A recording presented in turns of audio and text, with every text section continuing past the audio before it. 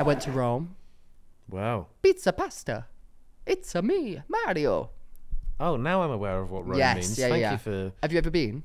Uh, no, but I often think about the Roman Empire. What is that trend? That is wild. I mean, Very by the time odd, that this yeah. comes out, it's probably been and gone. But that is just mental. Like Andrew literally asked me in front of the Roman Colosseum, and I was like, and I'd, I'd, I'd seen the only person whose video I'd seen of it was Amber and Casper because she asked Casper. yeah. But I didn't know that it was a trend, and I didn't really understand that. I just assumed because like they have like their own like little niche interest that maybe it was going to Yeah. be something to do with them or whatever. And then I was I remember thinking like, why the fuck's he asking me this? Like, what what even is that? And we'd just been that day on a tour around the Colosseum. Full like three hour long tour about the Roman Empire, and I was like fully like, no, I don't ever think about it. I was like, what is wrong with me? Like, why didn't I think? But it is wild. I, I fairly often think about it. That is just meant. I cannot express to you how little I think about the Roman Empire. Like, for example, the, the other the other day I saw uh, concrete in the road that had, a, that had a pothole, and underneath was cobbled road, and I Mm. was like, "Damn, the Romans really had it all thought out with making those cobbled roads." And like, have you do you Ah. know how roads are now? They're just like Yeah, they're piled just on layers top. on layers Yeah, on yeah, layers yeah, on layers. yeah. Like Romans wouldn't have had potholes. No. Cobbled stone, brother. And honestly, when I was there, like at the Colosseum, that was the first ever arena ever invented, and it was so good.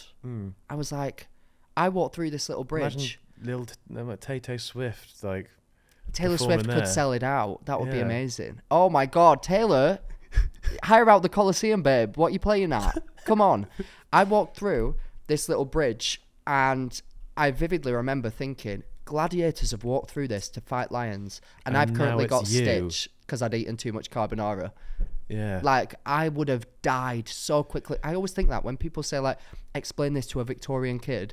If I was alive during the Victorian ages, I would have died of like hay fever. Mm. Definitely, they would have like burnt me because they thought I was a witch. I can imagine you as being like a little street urchin, Same. like soot on the cheeks. Yes, yes. Very like, please, sir, can I have some Yeah, more? Oliver Twist vibes. Yeah. Like his best mate who didn't get the press. No, no, no. But not skinny though. Mm, yeah. In fact, maybe shut. No, I don't know where I was going. I wouldn't that. endorse that. No, No, no, as I a diet do. technique, just No, I- turning into a street urchin. No, I won't endorse that. But um, yeah, it was it was a great trip. Ended up, oh my gosh. So I told you, didn't I, about when we went to Paris and we ended up in this like weird sex club. Of course, of course, you always end up in a sex club. Did in Rome as well. no way. What? Max Balegde I ended up in a sex club. Right. So I swear that these like European cities just they don't have as many rules. Like that would this would not exist Just in heads up, London. we are a European city. Oh shit, yeah, but like outside of London. Shut up.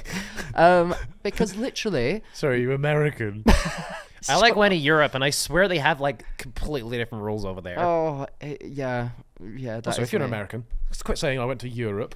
I know, they, but they say like I've been to London and then to Europe, like the two. I mean, I just did the same thing, but um, anyway. Um, but went to like nice like bars and stuff. Nothing too fancy there because it's like old and like Romanish.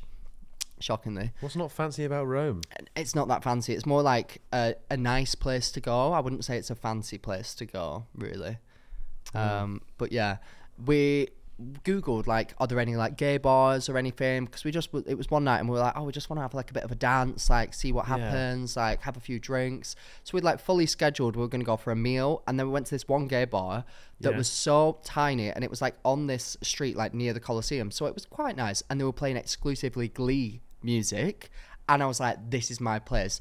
But it was more like a sit down bar. Like it wasn't like You're telling me a gay bar was playing Glee? Mm-hmm. I don't believe it for a second, It Max. was, it was, and it was amazing. But it was more like right, you just sit there and like have a drink. Like nobody was dancing. Yeah. So then we googled like gay bars for like dancing, and there was one that opened at eleven, and I was like, the club opens at eleven. Like that must be That's crazy. crazy. They must Yeah. be dancing all night long. Literally, that's what we thought. Yeah.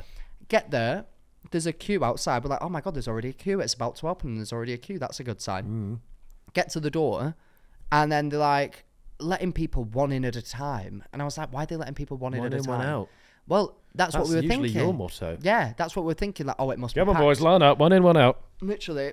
And then get there, there's this like glass window, and this guy's like have you been here before? I'm like, no, no, he said we've it not. like that, did he? Yeah, have you been? He said, have you been Oh, here mate, you've before? been here before, have you? he did not say it like that. Um, Up in then, you know, when in Rome. when in Rome, babe. And then he was like, "Oh, you need a membership." So we were like, "Okay, then we have to buy a membership." And Can then you please try and do it in his accent?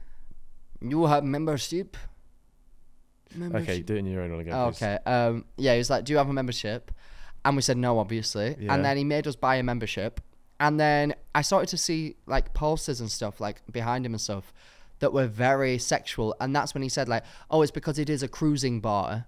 And then I was like, "Cruising? Why do I remember that word?" And I remembered that I learnt about cruising because people would cruise in tube station toilets, which basically means you just hang around there and like have sex with strangers. So me and Andrew go into this bar What's cruising about that? cruise i don't i think there's like two meanings like cruising in a car but then cruising is like a, a, a term for like oh i'm gonna hang around and like see if someone wants to have sex with me like basically what you've been doing your entire life you, Yeah, uh, you at any party Still cruising, guys. you at any party Anybody want to hop aboard? Get a ticket.